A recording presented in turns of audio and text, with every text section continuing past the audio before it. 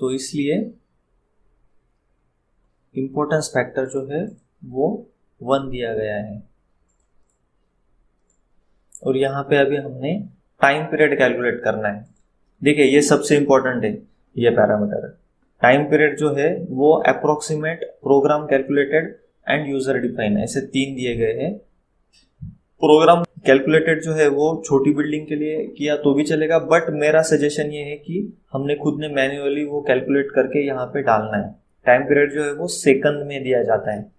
तो इसलिए मैंने, देखो यहाँ पे एक एक्सरसाइज करके रखा है।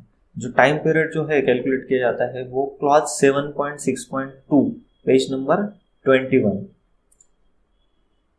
page number 21 जो है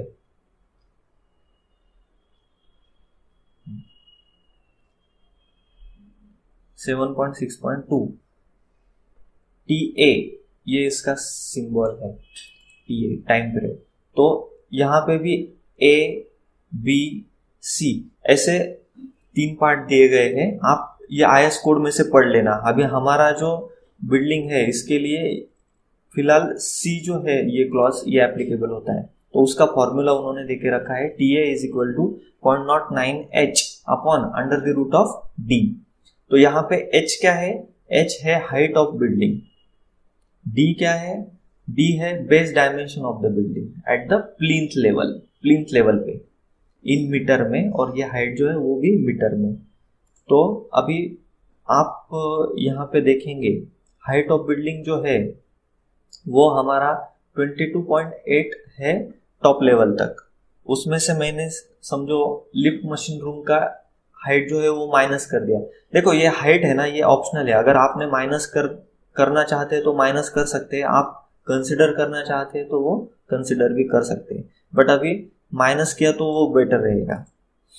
क्योंकि वो जो लिफ्ट मशीन रूम जो है, वो छोटा सा पार्ट है वो एक फ्लोर का। इसलिए वो मैंने डिलीट किया है अभी। तो यहाँ से वो आ गया ट्वेंटी पॉइंट फोर्टी डी जो है dimension of the building along to horizontal axis तो यहाँ पे डी एक्स यानी कि along the X axis dimension जो है वो ट्वेंटी फाइव पॉइंट फोर्टी और अलोंग वाई जो है वो fourteen point zero five twenty five point forty and D Y जो है वो फोर्टीन पॉइंट ज़ीरो फाइव तो यहाँ पे हमने ये फॉर्मूले में ये वैल्यूज़ डाली तो ये उसका आंसर आता है। आप कैलकुलेट करके देखना। ये आंसर आता है उसका। ठीक है, अभी हम डायरेक्टली वैल्यू डालेंगे। Point thirty six forty three point thirty six forty three okay कर दिया। यहाँ पे भी मॉडिफाई लेटरल लोड में गया मैं। ये अलोंग दी वाई डायरेक्शन इसलिए मैंने ये टिक रखा। यहाँ पे पॉइंट सिक्सटीन टू वन और यहाँ पे जो है point forty eight ninety eight point forty eight ninety eight और यहाँ से मैंने ओके कर दिया। और यहाँ से ओके कर दिया। ठीक है? अभी